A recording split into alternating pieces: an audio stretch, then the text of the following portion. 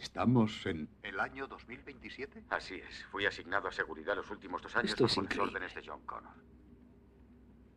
¿Y quién era el enemigo? Un sistema de defensa computerizado construido para... Maldito trasto. Lo siento. Construido para Sagnorat por Cyberdyne Systems. Comprendo.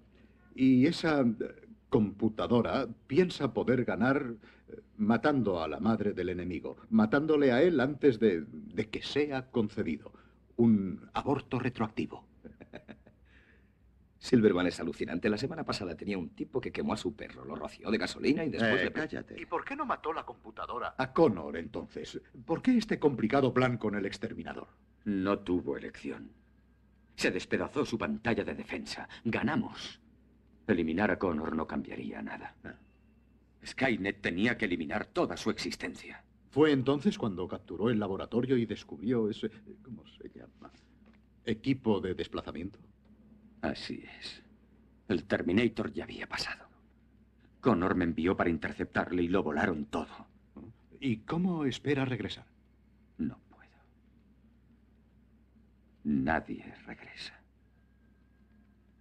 Y no vendrá nadie más. Solo somos él y yo.